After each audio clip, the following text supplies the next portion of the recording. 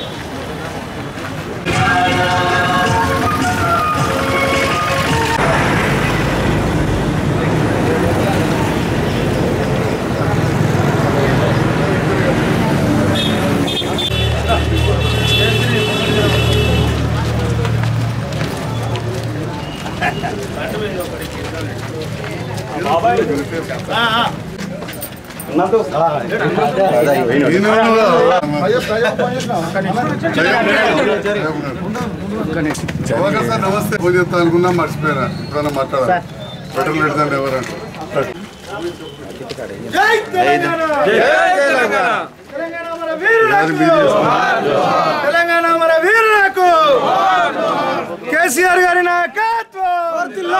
అంజన నాయకత్వం కేసీఆర్ గారి నాయకత్వం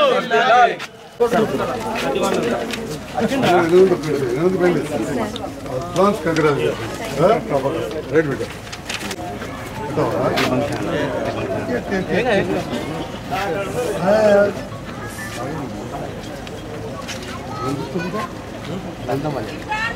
ప్లస్ సిక్స్ మొత్తంలో దోస్తే నా పేరు చెప్పు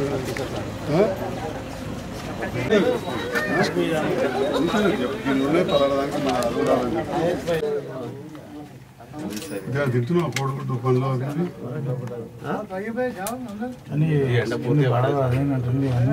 చాలా జాగ్రత్తగా ఉండాలి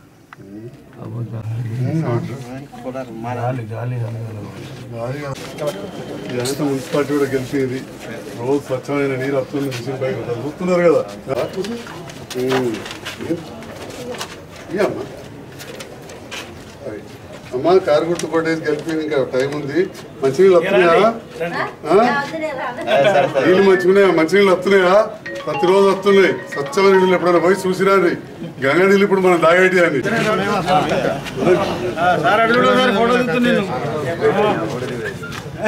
జై తెలంగాణ! జై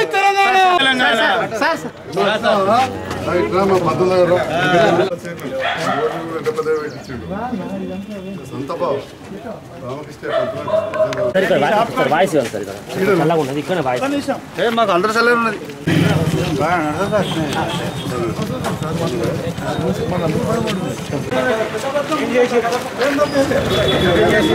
పూరి డైరీ కావాలి. జై తెలంగాణ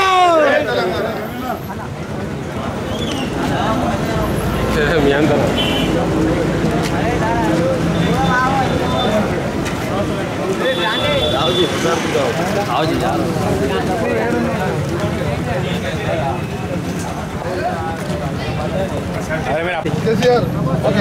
జై తెలంగాణ జై తెలంగాణ సంజయ్ నాయకత్వం సంజయ్ నాయకత్వం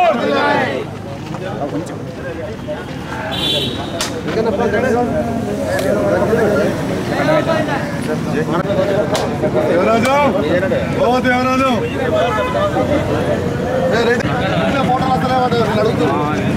ఇప్పుడు కనబడవాట చూడాడు చూడు ఇట్లా ఓకే రెడీ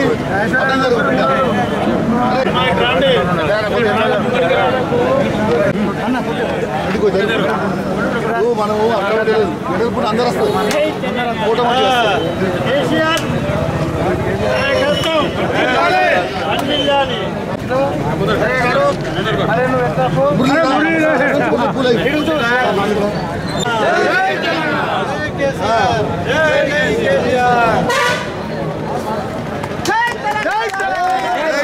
జై తెలంగాణ కేసీఆర్ గారి నాయకత్వం కేసీఆర్ గారి నాయకత్వం సంజయ్ నాయకత్వం కవితక్క నాయకత్వం జై తెలంగాణ గుర్తుకే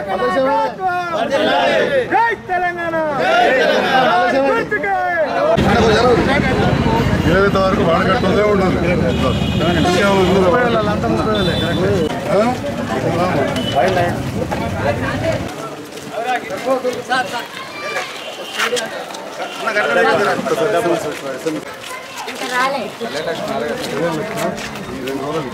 ఆ?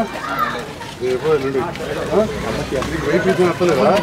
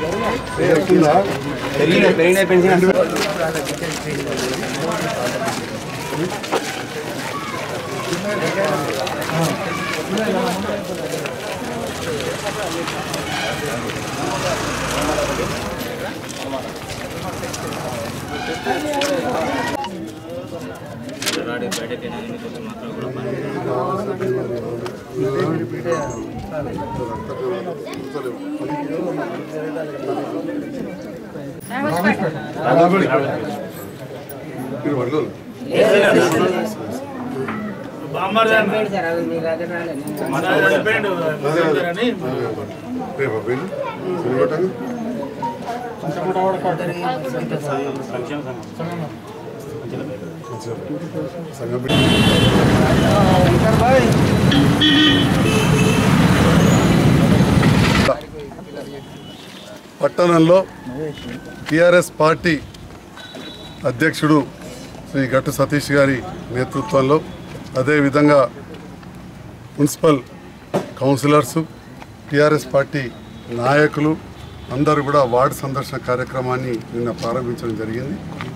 ఈరోజు ఇరవై తొమ్మిది ముప్పై వార్డులలో వార్డు సందర్శన సందర్భంగా నన్ను ఆహ్వానించిన స్థానిక కౌన్సిలర్ లత గారికి ఈ స్థానిక టీఆర్ఎస్ నాయకులందరికీ పట్టణంలో అన్ని వార్డుల నుంచి వచ్చిన టీఆర్ఎస్ నాయకులందరూ కూడా పేరు పేరున హృదయపూర్వక నమస్కారాలు తెలియజేస్తా ఉన్నాను జగిత్యాల నియోజకవర్గంలో స్థానిక సంస్థల ఎన్నికల్లో ఎన్నడూ లేని విధంగా ఏనాడు కనివిన రీతిలో టీఆర్ఎస్ పార్టీ నాయకులు గ్రామ గ్రామాల కూడా ఘన విజయం సాధించింది. ఈ ఘనత ఈ కారణం గౌరవ ముఖ్యమంత్రి గారు తీసుకున్న ఎన్నో నిర్ణయాలు గత ఐదు సంవత్సరాల్లో. అదేవిధంగా ప్రియతమ నాయకురాలు మా వెన్నంటి ఉండి ఈ ప్రాంత అభివృద్ధికి కవిత గారు చేసిన కృషి అనుకోండి. మిగతా కార్యకర్తలందరి సమిష్టి కృషితోటి నాయకుల కృషితోటి అన్ని గ్రామాలలో ఈనాడు చెప్పాలంటే మెజారిటీ మెజారిటీ స్థానాలు టీఆర్ఎస్ పార్టీకి అవసరం చేసుకోవాలి గ్రామ పంచాయతీల విషయానికి వస్తే తొంభై తొమ్మిది గ్రామాలు ఉంటే ఈరోజు ఎనభై ఏడు మంది సర్పంచులు గులాబీ కండ వేసుకున్న వాళ్ళు మా గులాబీ కండ వేసుకున్నారు చరిత్ర ఇది. ఏనాడు లేదు. వేరే ఏ పార్టీ కూడా ఈ కాంగ్రెస్ పార్టీ తప్ప వేరే ఎవరు గెలవలే. ఐదు మండలాలు ఉంటే నాలుగు మండలాల్లో జెడ్పీటీసీ స్థానాలను గెలుచుకున్నాం. మెజారిటీ మెజారిటీ స్థానాలలో ఎంపీటీసీలు గెలిపించుకున్నాం. అంటే ఈ రకంగా టీఆర్ఎస్ పార్టీ గ్రామాలలో తమ సత్తా చాటింది. అంటే ప్రజల అభిమానం టీఆర్ఎస్ పార్టీ వైపు ఉన్నదని చెప్పి తెలియవచ్చు మరి ఈనాడు జగిత్యాల పట్టణంలో కూడా మా కార్యకర్తలు ప్రభుత్వం చేసిన పనులను వివరిస్తూ ఉన్నారు. తమ అదేవిధంగా వార్డుల్లోని సమస్యలు వార్డులోని సమస్యలు కూడా తెలుసుకుంటా ఉన్నారు మా నాయకులు. అదేవిధంగా ఈరోజు నన్ను కూడా ఆహ్వానించారు.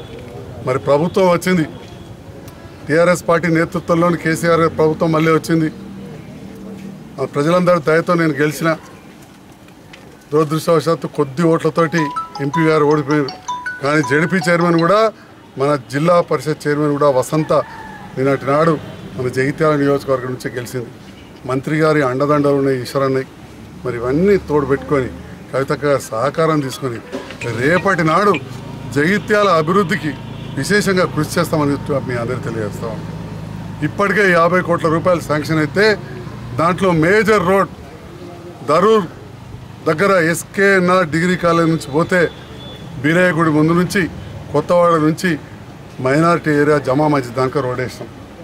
అట్లనే పొండాల గార్డెన్ నుంచి హౌసింగ్ బోర్డు ఆ రోడ్ కూడా వేయడం జరిగింది. ఇవాళ గ్రామంలో ప్రతి ఇంట్లో తాగే వాడే నీరు మిషన్ భగీరథ కార్యక్రమంలో వస్తూ ఉన్నది. స్వచ్ఛమైన గోదావరి జలాలు స్వచ్ఛమైన గోదావరి జలాలు. ఎవరైనా వెళ్ళి చూడొచ్చు రాజేశం గుడ్డ దగ్గర ఏదైతే సంపు ఉందో అక్కడ పోయి చూస్తే తెలుస్తుంది నీళ్ళు ఎక్కడి నుంచి వస్తున్నాయని చెప్పి.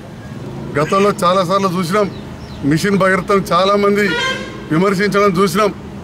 కానీ ఇవాళ దాని ఫలాలు ఇప్పటికే డెబ్బై ఐదు నుంచి ఎనభై శాతం అందుతున్నాయి. డెబ్బై ఐదు నుంచి ఎనభై శాతం అందుతూ ఉన్నాయి.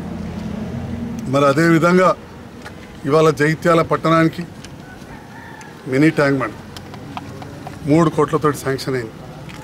అది ఎంత చేసినా బాగా కావట్లేదు ఆ మున్సిపాలిటీలోని మురికేంత అనలే ఉన్నది అన్నట్టు అనిపిస్తుంది. ఒకప్పుడు స్వచ్ఛమైన చింతకుంట చెరువు స్వచ్ఛమైన నీరు అందులో బతుకమ్మలు వినాయకులు వంచుడు ఇవన్నీ ఉంటే ఈరోజు ఎటు చూసినా దుర్గంధం. అయినా కానీ దాన్ని కొంత డబ్బు పెట్టి రెండు కోట్ల తొంభై లక్షలు పెట్టి ఆ కట్టంతా మంచిగా చేసి ఆ లోపలంతా కూడా రాయితోటి కట్టిపించి కట్టపాడు కాకుండా పైన కూడా గిల్స్ పెట్టి రాత్రిపూట కనబడడానికి లైట్లు దానిపైన చాలామంది స్వచ్ఛ భారత్ అని చెప్పినా కానీ చాలామంది మల మూత్ర విసర్జన చేస్తున్నారు. ఇంత మున్సిపాలిటీ అధికారులు అనుకున్నంత చర్యలు తీసుకోవట్లేదు. కాబట్టి ఇప్పుడు దాన్ని గేట్లు కూడా పెడతా ఉన్నాం. ఇప్పటికే దాన్ని మున్సిపాలిటీకి ఈ మధ్యలో హ్యాండ్ ఓవర్ చేసినామని చెప్పి కూడా మైనర్ ఇరిగేషన్ వాళ్ళు చెప్పారు అసలు మున్సిపల్ పరిధిలో ఉన్నది కాబట్టి అసలు హ్యాండ్ ఓవర్ చేసే అవసరం లేదు. అది మున్సిపాలిటీ బాధ్యత ఆ చెరువును సంరక్షించడం అనేది మున్సిపాలిటీ బాధ్యత. మరి జగిత్యాల మున్సిపాలిటీ నిర్లక్ష్యం వల్ల ఇవాళ తులసినగర్ పైన ఉన్న దుర్గంధపు నీళ్ళు అని చెప్పి మురికి బాత్రూంలో నీళ్ళు చెడ్డ నీరు అంతా కూడా చెరువులకు వచ్చి చేరుతాం దుర్గంధం పాలవుతుంది. ఆ దుర్గంధం నీళ్ళు రావడం వల్ల ఇప్పుడు వాళ్ళంతా గుర్రపు డెక్క ఆకులు అలాలు మళ్ళీ తయారవుతా ఉన్నాయి. మన అందుకోసం స్థానిక సంస్థలలో ఇవాళ టీఆర్ఎస్ పార్టీ గ్రామాలలో ఎట్లా గెలిచిందో పట్టణంలో అట్లా గెలవాలి. అది గెలవాలంటే ప్రజల సహకారం కావాలి.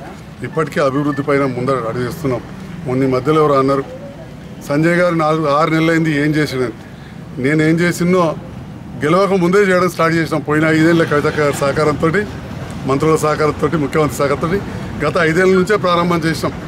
ఇప్పుడు కొత్త కాదు అది కంటిన్యూ అవుతుంది. కానీ ఐదు సంవత్సరాలు మున్సిపల్ కుర్చీ మీద ఉన్న వాళ్ళు ఏ పార్టీ న్యాయం చేసిరు జగిత్యాలకు అనే విషయాన్ని వాళ్ళు అర్థం చేసుకోవాలి. వాళ్ళు జవాబు చెప్పాల్సిన అవసరం ఉంది. ఐదు సంవత్సరాలు నిండుతూ ఉన్నాయి. ఇంకా పదిహేను రోజులు అయితే వారి జవాబు చెప్పాలి. మీరు ఒక మంచి లేఅవుట్ చేసిండ్రా కొత్తగా జగిత్యాలలో ఒక పార్క్ చేసిండ్రా ఒక్క శ్మశాన వాటిక చేసిండ్రా ఏం చేసిరో మీరు చెప్పాలా? మంచి రోడ్లు ఎక్కడ వేసిండ్రా అది మీరు జవాబు చెప్పాల్సిన అవసరం ఉంది. అంతేగాని నా వంతుగా ఇప్పటికే గతంలో ఓడిపోయినా కానీ చేసినాం. ఆరు నెలలు అయింది ప్రజలందరూ తెలిసి ఎలక్షన్లో కోడ్ కోడ్ ఉంది. ఇక స్టార్ట్ అయింది మా పనులు అనేటి లైబ్రరీ ప్రారంభిస్తాం. చింతకుట్ట చెరువు మినీ ట్యాంక్ బండ్ కూడా ఓపెన్ చేస్తాం. ఇప్పటికే టౌన్ హాల్కు కోటి రూపాయలు ఇచ్చినాం. మరి మీ బాధ్యత కాదా అని నేను అడుగుతా ఉన్న. టౌన్ హాల్లోని అందు అక్కడ నడిచే షాపులు కానీ ఇవి కానీ మీరు ఆ పళ్ళ దుకాణాలు ఇంకెందుకు తీస్తలేరని చెప్పి నేను ఇవాళ అడుగుతా ఉన్నా మీడియా అది మీ బాధ్యత కదా అని నేను అడుగుతా ఉన్నా. పుట్టిన తర్వాత గిట్టక తప్పదంటారు. చనిపోయే కాడ శ్మశాన వాటిక చింతకుంట కానీ మోతది కానీ ఎంత దుర్గంధంతో ఉంది ఆ గోడ పక్కన ఎంత చెత్త పడేస్తున్నారు ఇవన్నీ చేయాల్సిన బాధ్యత మున్సిపాలిటీది కాదా అని నేను అడుగుతున్నాను తప్పకుండా జగిత్యాల పట్టణ ప్రజలు విజ్ఞులు. తప్పకుండా టీఆర్ఎస్ పార్టీ వచ్చే ఎలక్షన్లో గెలిపిస్తారు. మేము కూడా వార్డు సందర్శన సందర్భంగా ఇప్పుడు ప్రచారం అని కాదు ప్రతి వార్డులో ఉన్న సమస్యలు ఏంటి అని చెప్పి మేము చూస్తూ ఉన్నాం. ఎందుకంటే టీఆర్ఎస్ పార్టీలో గతంలో గెలిచిన వాళ్ళు చాలా తక్కువ. ఇప్పుడు వివిధ పార్టీల నుంచి కూడా రావడం జరిగింది. నాయకులు కూడా ఉన్నారు. ఆ సమస్యలు తెలుసుకొని నోట్ చేసుకొని రేపటి నాడు గెలిచిన తర్వాత ఒకటొకటిగా సమస్యలు పరిష్కరిస్తామని చెప్పి కూడా జగిత్యాల ప్రజలందరికీ తెలియజేస్తూ ఇక్కడికి వచ్చిన మన మీడియా ఎలక్ట్రానిక్ మిత్రులకు ధన్యవాదాలు తెలియజేస్తున్నాం. Thank you very much